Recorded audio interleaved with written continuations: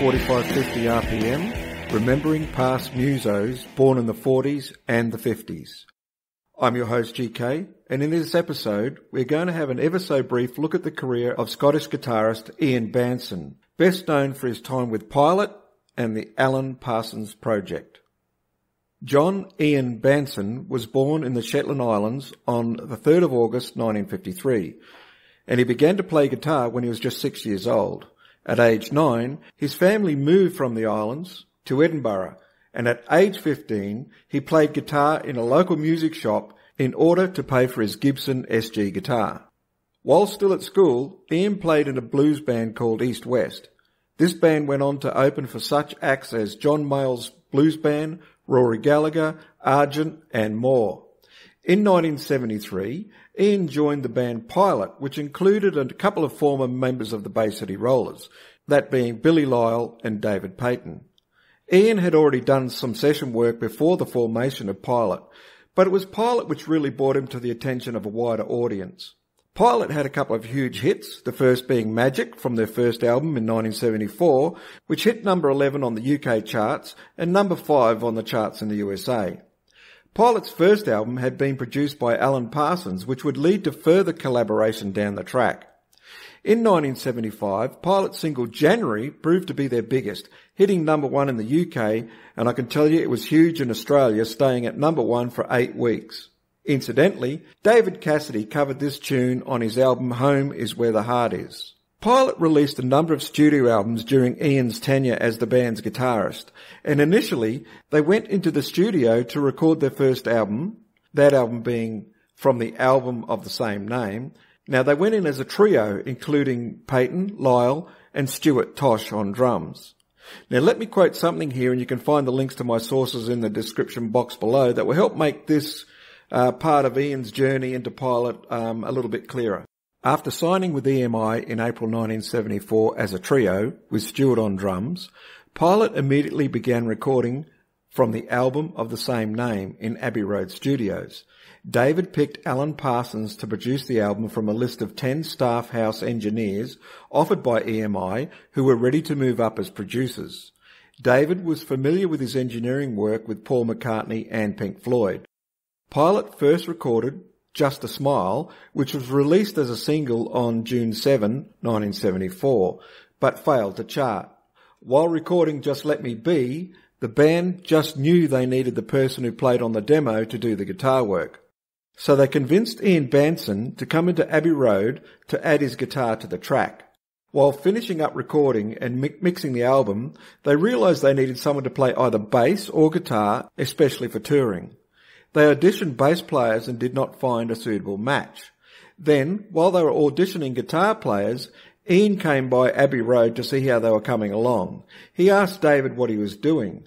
David replied auditioning guitarists. In response to Ian's, why didn't you ask me? David replied, I didn't think you'd be interested. Next thing you know, Pilot had its fourth member as the band was ready to take off with the release of its first album, a critically acclaimed tour supporting Sparks, and of course, more than a little bit of magic. Okay, so that's how um, Bairnson ended up um, being Pilot's permanent guitarist. Um, and I think, um, for the most part, although he was a guitarist as well, David Paton um, became the bass player. Um, but of course, both of those guys could play either instrument. Um, Bairnson being multi-instrumental himself. Um, okay, so of course I'm, I might repeat myself here, but um, links to anything I quote directly here or use uh, will be in the description box below. The links to that will be in the description box below. All right, so they finished off with the term there, more than little bit of magic. So um, we pick up here where I've written, and of course, this initial album by Pilot featured the hit single Magic, which went to number one in Canada. In 1975, they released the album Second Flight, which fe- featured their biggest hit, January. In 1976, Pilot went to Canada to record the album Morin Heights, which included the tune Canada and a couple of songs penned by Ian Bairnson.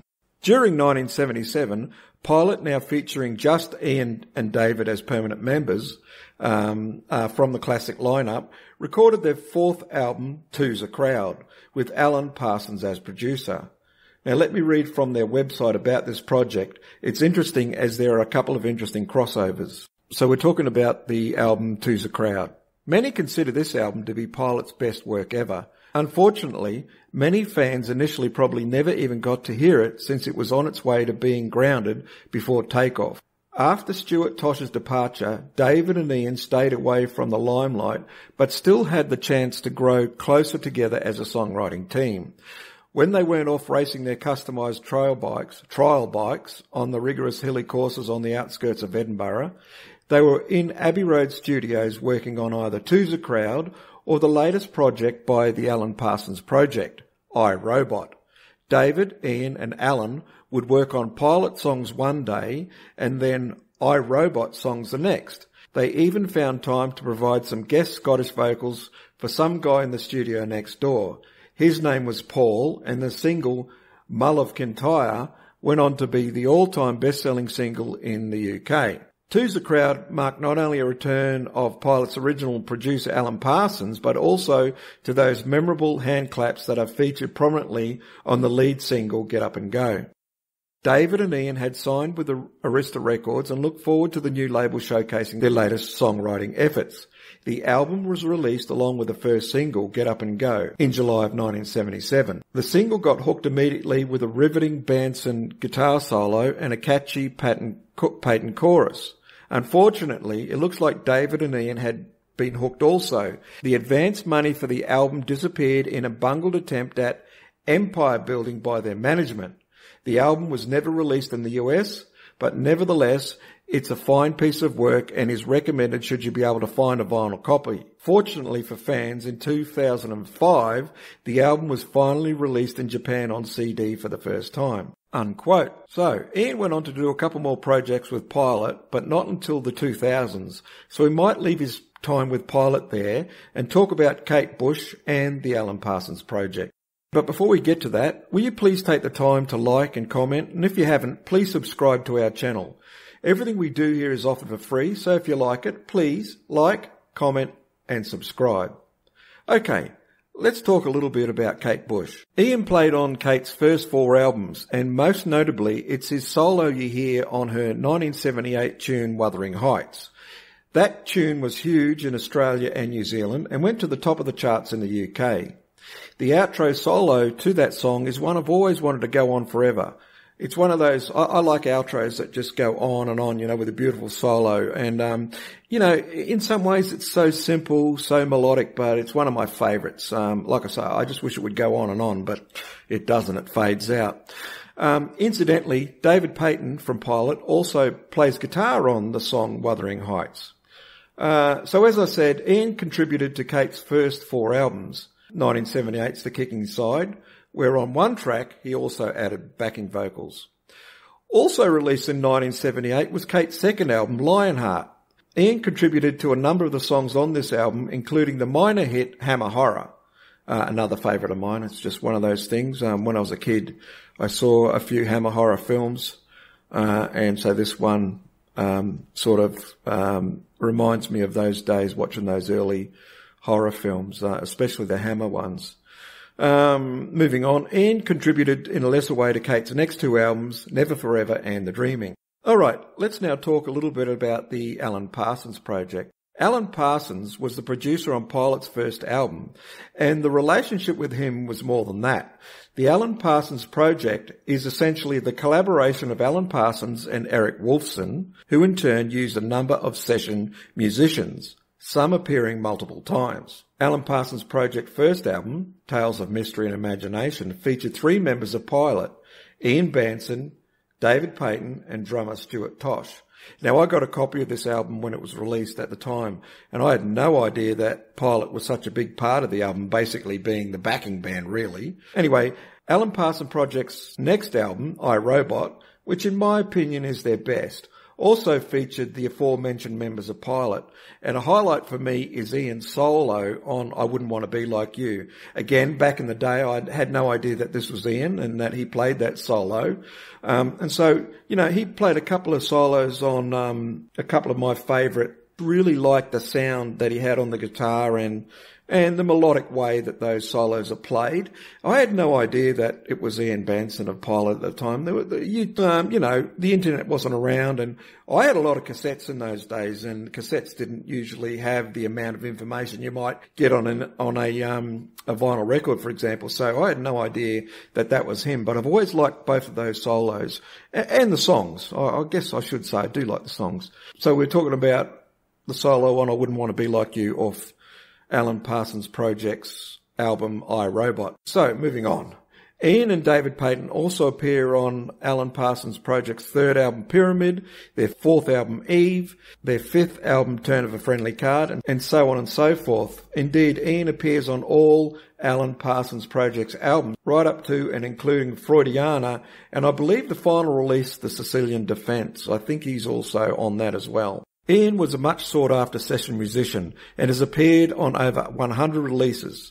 Some I've never heard of, but some to note are sessions with Wings, Steve Harley, Chris de Burgh, Jon Anderson, Mick Fleetwood, Bucks Fizz, would you believe it? Kenny Rogers, and the list goes on and on. As a guitarist of note, we shouldn't finish any discussion about Ian without talking just a little bit about his gear. Ian in the early part of his career had an early love of Gibson guitars. Uh, I mentioned earlier the SG that he played when he was in his teens. Later he used, amongst others, a 73 Les Paul Custom, a 59 Les Paul, both those both those are obviously Gibson guitars. Um, and he owned a couple of PRS, Paul Reed Smith guitars, one of which he called the Ultimate Touring Guitar. So there's a bit of kudos for PRS. Um, let me give you a couple of quotes by Ian on the subject of his Les Pauls, and you can find the links to this in the description box below. Quote, I've always loved the Les Paul guitar and I've played it on the vast majority of records I made. It is very different to a Strat.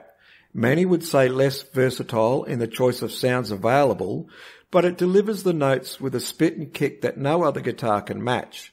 I dearly love my PRS guitars too. They are built on the basis of a Gibson rather than a Fender and are beautifully made, even if they can't quite outgun my Les Paul. So on to amplifiers. On any record up until 1981, you can be assured that I played my Les Paul Custom through a Marshall 50 head and a 4x12 angle front cab cabinet.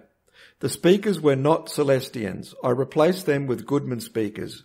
Any Strat sounds on project albums pre-1981 were from a 70s white Strat, which was just a part of many instruments we kept as a kind of project arsenal. It was a truly horrible guitar. In these days, we use, ca- I guess he means in those days. In these days, we use careful mic placement for the basic sound and use the studio's effects if they were needed. I never owned a stomp box. And another quote here by Ian. Guitar players broadly fall into two main groups. Those who consider themselves as Strat players and those who are Les Paul type players. I've always loved Les Pauls. Ever since I was about 14 years old, I wanted to play one. I prefer the sheer power and kick of a Gibson Les Paul. I bought mine as soon as I could afford one. Came from a shop called Take Five in Shaftesbury Avenue in London and cost me £315 in 1974. That's a lot of do me, by the way. Um, it is a custom model, but over the years I have changed bits and pieces and now it looks more like a standard. I suppose it is true to say that I built a career using only a Les Paul and a Marshall 50 watt amplifier. I never plugged anything between the guitar and the amp. If we wanted effects on the sound, we use the studio effects. They are far better quality and besides, I couldn't afford that kind of equipment. This guitar has been with me through everything from the early recordings, Pilot, Parsons Project, and Kate Bush. Uh, now you can find these quotes on ianbairnson.com and, and I will put a link in the uh, description box below.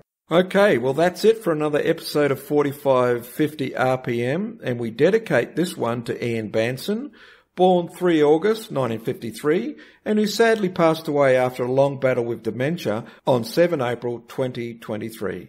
Thanks for listening and we'll catch you next time here on 4550 RPM. This is Acrolith and Same Chain.